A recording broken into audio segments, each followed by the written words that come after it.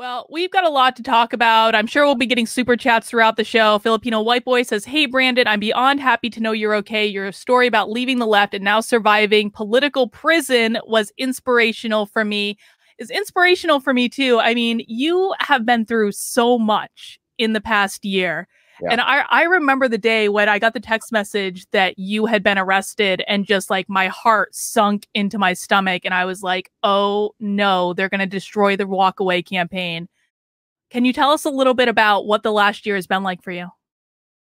Uh, it's almost indescribable um, because I think the reason why I say that is because before I got arrested and taken to jail, which is how it all started, um, I was the type of person, probably like the vast majority of people, who didn't really even understand or appreciate how serious just that is. Like, I've heard numerous stories throughout my life about people saying, like, oh, yeah, I went out and I had too much to drink and I ended up spending the weekend in jail and stuff. And I was, you know, I always thought it sounded kind of funny, you know, like, ah, a couple days in the clink. Uh, and this has really, really been a nightmare. And and, and I guess I was going to say probably most people think that that's all it was that I got arrested. I spent a few days in jail, and then I waited to for my case to resolve and have my sentencing. And it's I, I don't think people can understand or appreciate that this is something that just went on and on and on and on. And it was like I would get letters in the mail saying that my TSA pre-check status was revoked, and then I uh, went to the airport weeks after getting arrested and discovered that not only was my TSA pre-check status revoked, but that they had put me on an actual terrorism watch list. That I have a, a designation now that's called Quad S or SSSS. And every single time that I travel, I now have to go through hours of secondary, very invasive secondary screening, uh, including that them taking pictures of my my boarding passes and my my IDs um, full body pat downs where they put their hands down your pants, they touch your chin. It's it's insane. And then they actually have teams of TSA agents that follow me around the airport. And you know, if I'm sitting at the the gate waiting for my flight to take off, they station agents all over to observe my behavior, and uh, and then they screen me again before I get on the airplane. I, I mean, that's just one example. I was I was uh, kicked out of my apartment uh, right when I got out of jail, I got a notice that I had 30 days to get out of my apartment because of this case, because it was in the news. Um, and it, it, just the, the absolute destruction of almost every level of my life, every piece of my life. It, it's, you know, I have been writing about it this entire last year. And I think that pretty much most of the details are in that book. But um, it's been horrible. I mean, it's just been absolutely horrible. And um, through all of it, I kind of just wondered, um, am I going to be able to come back from this? I mean, not so much in like, can I come back from this? But it, I mean, it's just emotionally, you know, it's it, it takes a lot out of you, and it makes you sort of question. You really do have to question at times, like, is this all worth it? Is what I'm fighting mm-hmm. for worth it? Because my life has just been leveled.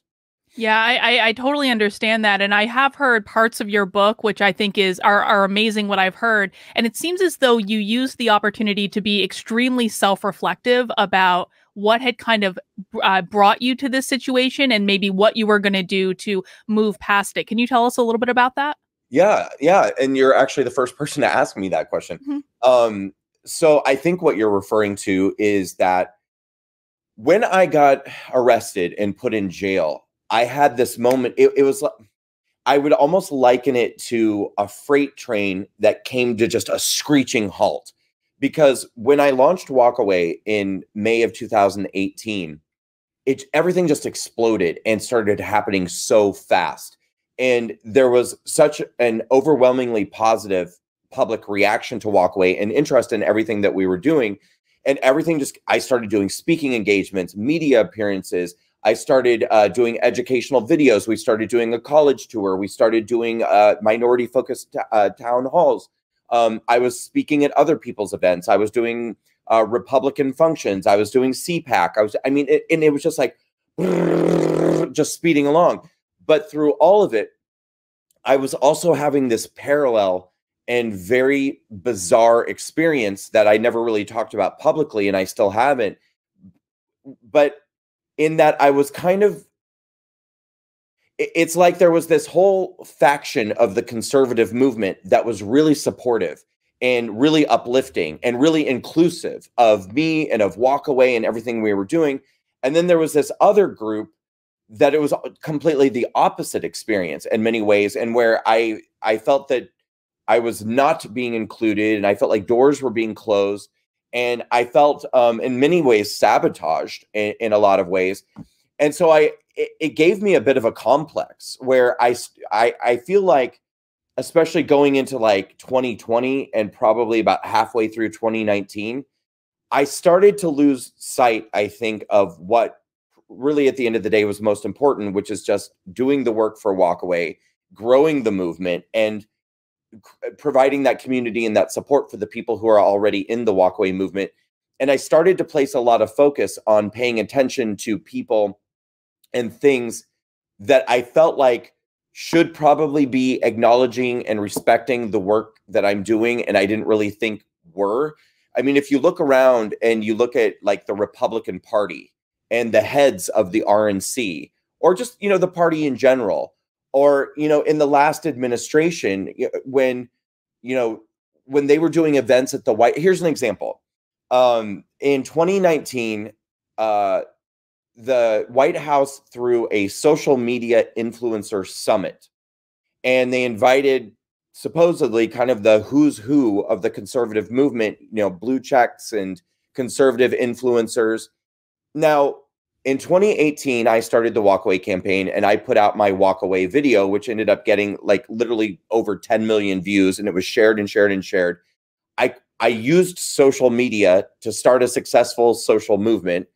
I had arguably the most successful viral political video of 2018 and I'm not invited to the White House's social media influencer summit. You know, and it it was just always things like that where I was constantly being excluded and I was constantly like not really being acknowledged or appreciated and I started to fixate on that a lot. Mm. And so by the time we had gotten to January 6th, I was I had already made a plan to be in Georgia and to be a poll watcher on January 5th because I was doing this Save the Senate initiative, getting volunteers out to do door knocking and phone banking for Perdue and Loeffler uh, to try to save their Senate seats. And I ended up getting invited to speak on January 6th, and I didn't want to do it. I wanted to just stick with what I was doing already. And um, but the people I was I was talking with were saying, you know, President Trump is asking people to come and this is really important for America and it's really important for the American voter and this issue is important and one way or another this is all going to be over on January 7th. So this is kind of like a last opportunity to be a part of something that's important and potentially historic and whatever. And unfortunately, once again, I sort of allowed myself to prioritize that feeling that I wasn't really the work I was doing was not really being uh, acknowledged or appreciated. And I sort of thought, well, you know what? I am going to go on January 6th and I am going to speak and I am going to do this thing. And maybe people will see like how hard I'm I'm trying to be of service and of value to the conservative movement. Mm-hmm. And um so I went, everything went wrong, um horribly horribly wrong and you know, mind you, I I didn't go inside the Capitol and I didn't engage in any acts of violence or vandalism or anything. And I didn't even witness all of the violence and vandalism that was taking place on the west side of the building, which was the opposite side of where I was, which is where people were smashing windows and scaling walls. But anyway, I, I found myself on January 25th arrested and thrown in a jail cell and at that moment, that speeding locomotive that started on May of 2018, like, you know, was like all of a sudden it's like it came to a screeching halt. And I was sitting in a jail cell, unable to move, unable to go anywhere, unable to do anything. And I was just like, oh my God. Like all of these people that I I lost focus and lost sight of what I really should have been focused on. And all of these people that I was trying to get to respect me and acknowledge me and and see what I'm doing, they're not coming. Right. They're they're they're not on their way to come help me. Meanwhile, there are hundreds of thousands, maybe millions of people right now who are heartbroken and heartsick because they love me and they care about me. And they're now probably worried to death that I'm arrested and sitting in this jail cell. And why would I ever go looking for anything else? Like, why was I mm-hmm. looking for anyone else's approval or affirmation than the people in this movement that I, that's the only thing that should have been important to me. You know, and I, I completely understand your perspective there. I mean, the people on my channel will tell you that I, I still complain to this day that you and Scott Presler were not invited to speak at the RNC. Like things like that were just like some of the biggest just slaps in the face for with all the work that the two of you have done over the past couple years. And I've just never understood it. I never understood why there would be people in the conservative movement that would want to sideline some of their most effective activists. And I certainly have opinions about why they're doing that that I'm going to keep to myself myself for this particular chat. But also, I mean, I think that the revelation you came to is really important because I was asked, Brandon, I can't even tell you every single day, multiple times a day. Where's Brandon? How is Brandon doing? To the point where like I was I was like starting to get a little persnickety about it. I was like, God damn it. Can you guys me? just can, can you just sign up for his email list? like this is his website. Stop asking about this asshole. Yeah. No, no, well it wasn't that at all. But like